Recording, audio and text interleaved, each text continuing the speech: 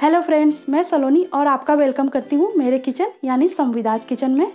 आज मैं लेकर आई हूँ समोसे की रेसिपी समोसा एक बहुत ही पॉपुलर स्नैक्स रेसिपी है। इसे मैं स्टेप वाइज बहुत ही आसान तरीके से, एकदम परफेक्ट कैसे बनेंगे, ये सब दिखाकर इजीली बनाना बताऊँगी। आशा है आपको समोसे की मेरी ये रेसिपी जो एकदम क्रिस्पी जैसा कि आप देख रहे हैं, और स्मूथ यानी चिकनी बनी है, पसंद आएगी।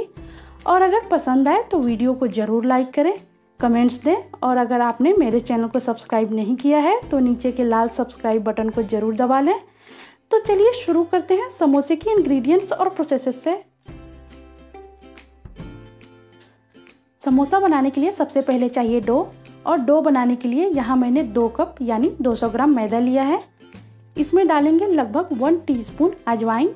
इसे ऐसे हथेली पर रगड़ कर ऐड करेंगे। हाफ़ टी स्पून नमक डालेंगे।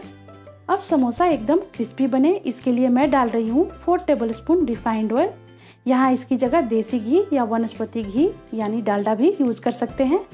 सब कुछ एकदम अच्छे से मिक्स करेंगे। यहाँ मैश करते हुए इसे हाथों से हम ऐसे बाइंड करें तो बाइंड होनी चाहिए। अब थोड़ा थोड़ा पानी ऐड करते हुए इसका करक डो बनाएँगे। एक साथ ज़्यादा पानी ऐड नहीं करेंगे और ना ही आटा नरम लगाएँगे, नहीं तो समोसे क्रिस्पी नहीं बनेंगे। डो जब फाइनल गूथ जाए तो ऐसे टूटने चाहिए। मिला लेते हैं इसे फिर से। लगभग आधा कप से थोड़ा कम पानी, डो में मैंने तीन बार में थोड़ा थोड़ा करके ऐड किया है। आटा मैंने स्टिफ लगाया है, आप देख सकते हैं। अब डो को ढककर 15 मिनट के लिए साइड करते हैं और देख लेते हैं सारी और सामग्रियाँ जो समोसे के लिए हमें चाहिए। यहाँ है मेरे पास चार बड़े आलू, जिन्हें उबालकर छीलने के बाद छोटे टुकड़ों में मैंने ऐसा तोड़ लिया है। आलू को ज़्यादा मैश नहीं करेंगे, ऐसा ही करके लेंगे। और यहाँ है फ्रोजन मटर। आधा कप आप फ्रेश मटर भी उबाल कर ले सकते हैं। लगभग 100 ग्राम है पनीर के छोटे क्यूब्स कटे हुए बड़े टुकड़े में नहीं रखेंगे, नहीं तो स्टफिंग में दिक्कत आएगी। एक इंच अदरक और पाँच से छः लहसुन की कलियों को मैंने यहाँ क्रश करके लिया है। One teaspoon garam masala powder. Half teaspoon लाल मिर्च पाउडर और half teaspoon chaat masala powder. एक हरी मिर्च बारीक कटी हुई आप तीखापन स्वादानुसार बढ़ा लें या घटा लें। हरी धनिया की पत्ती बारीक कटी हुई स्वादानुसार से थोड़ा कम नमक, क्योंकि मैदे में भी हमने नमक ऐड किया है। हाफ़ हाफ़ टी स्पून तड़के के लिए लिया है जीरा और साबुत धनिया। धनिया ऑप्शनल है। समोसे तलेंगे हम रिफाइंड ऑयल में। तो अब चलते हैं आगे के प्रोसेस में। नेक्स्ट प्रोसेस में यहाँ मैंने कढ़ाई को गर्म कर लिया है। फ्लेम मीडियम पर सेट है। इसमें डालूँगी लगभग दो से तीन टेबल स्पून ऑयल ऑयल के गर्म होने के बाद हम हल्का फ्राई करेंगे इसमें पनीर के टुकड़े। तो सारे पीसेस एक साथ डाल देते हैं। चलाते हुए इसे हम लाइट फ्राई करेंगे। स्टिफ नहीं होने देंगे। यह परफेक्ट है। अब इसे एक प्लेट में निकाल लेते हैं।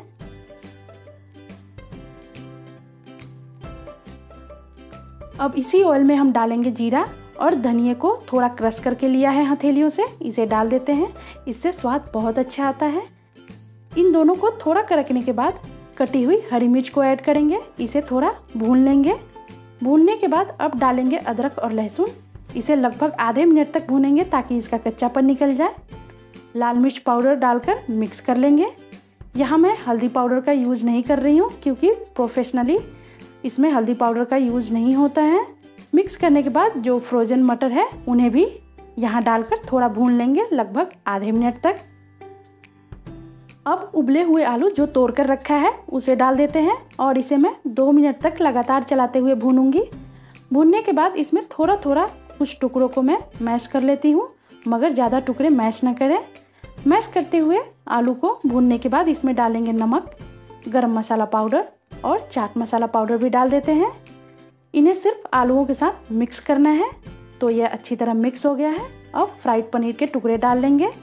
धनिया की पत्ती भी ऐड कर देते हैं और सबको अच्छे से मिला लेते हैं। स्टफिंग तैयार है फ्लेम को बंद करते हैं और इसे निकाल कर एक तरफ़ रखेंगे। जब तक यह ठंडा होगा, हम डो जो गूँथ कर रखे हैं, वो चेक कर लेते हैं।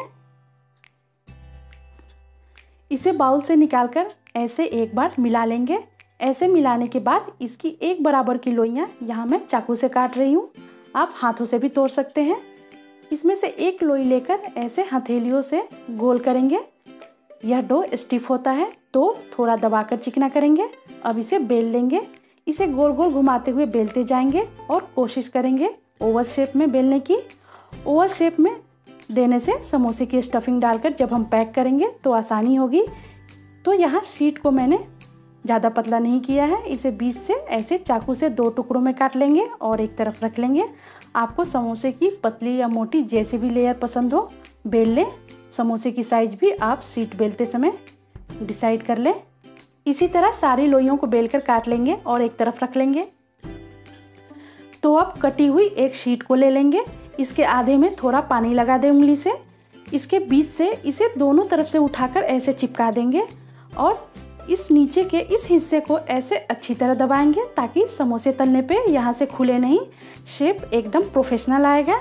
स्टफिंग डालेंगे इसमें। स्टफिंग की मात्रा समोसे के साइज़ के अनुसार डालें। मैं दो चम्मच डाल रही हूँ। इसे हल्का सा प्रेस करेंगे नीचे की तरफ़।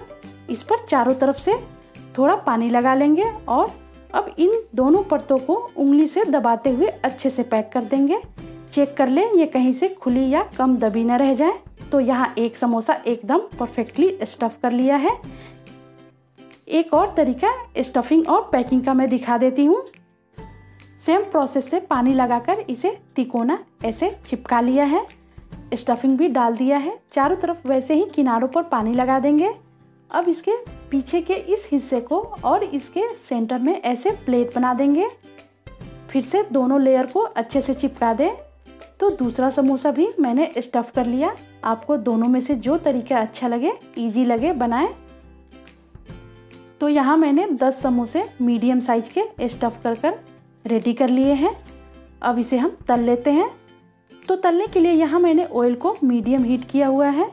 एक छोटा टुकड़ा अगर हम इसमें डालें तो ऐसे धीरे से ऊपर आना चाहिए। इतने गर्म ऑयल में ही समोसे तलेंगे। इससे क्या होगा कि समोसे एकदम चिकने तलेंगे फ्लेम लो टू मीडियम के बीच में रखेंगे। अब डाल देते हैं समोसे।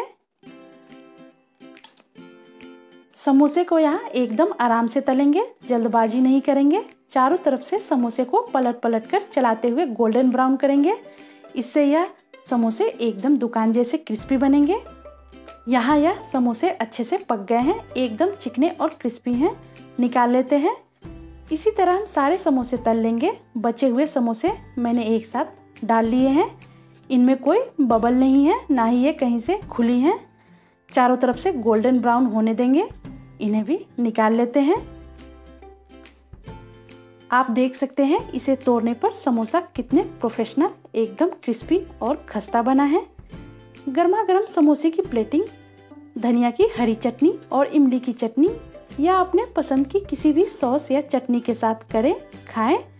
तो मेरी बताई गई टिप्स और टाइमिंग का ध्यान रखते हुए आप इसे बनाएँ, अपने अनुभव या सजेशंस कमेंट्स करके बताएँ। तो ऐसे ही पॉपुलर इजी और स्वादिष्ट रेसिपीज़ के लिए मेरे चैनल संविदाज किचन को सब्सक्राइब करना ना भूलें। Thank you